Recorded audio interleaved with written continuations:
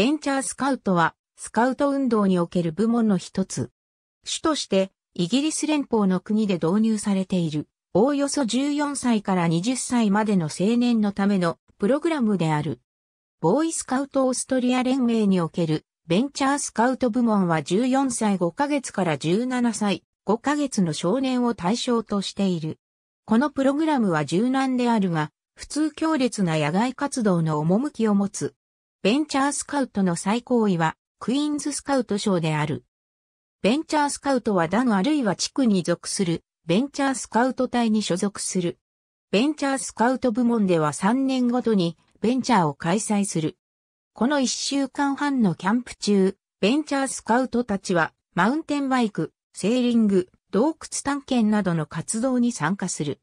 次のベンチャーは2015年に南オーストラリアで開催される。ベンチャースは14歳から18歳の男女である。ベンチャーのモットーは挑戦。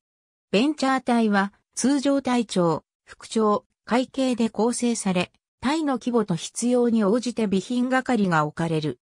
野外活動としては、ラフティング、カヌー、カヤック、登山、キャンプなどが行われる。ベンチャー隊のリーダーシップは、アドバイザーと呼ばれる若い指導者が取る。ベンチャー隊は、職域ベンチャー隊として組織することもできる。職域ベンチャー隊員は、スカウティングのプログラムとともに、キャリア形成に関わる奉仕や訓練に参加する。最も一般的な職域ベンチャー隊は、消防ベンチャー隊、警察ベンチャー隊、医療ベンチャー隊である。医療ベンチャー隊は、青年応急処置を学ぶプログラムである。ベンチャーは、リーダーシップ、マネジメントスキルの育成と青年間の友情、キャリア形成と野外技能の訓練を目的としている。日本におけるベンチャースカウトは14歳から19歳を対象としたプログラムであり、自己開発と市民性の寛容、野外活動に焦点が置かれている。マルタにおけるベンチャースカウトは14歳から18歳を対象とする。プログラムには探検アワード、オリンポスアワード、ドルフィンアワードと大統領アワードが含まれる。1967年にベンチャースカウトは、ローバースカウトとシニアースカウトの両部門にとって変わる形で創設された。1976年にイギリス連盟として初めて女性加盟員を受け入れた部門であった。対象年齢は15歳5ヶ月から20歳。ベンチャースカウト部門はエクスプローラースカウト部門にとって変わられ、2003年にはそれもスカウトネットワークにとって変われられた。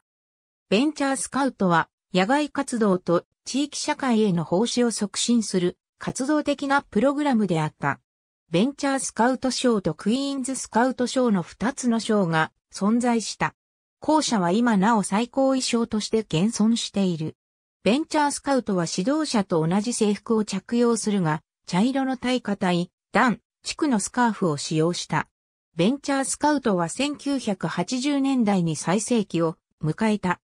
1990年代に入って対象年代の若者が教育上の理由から学校にいる時間が増えたために急速に衰退した。ベンチャーリングは14歳から20歳の男女のためのプログラムである。13歳で8年生を修了した者も入隊することができる。ベンチャーリングとエクスプローリング、 Learning for Life の3部門は、ボーイスカウトアメリカ連盟における男女共用プログラムである。ありがとうございます。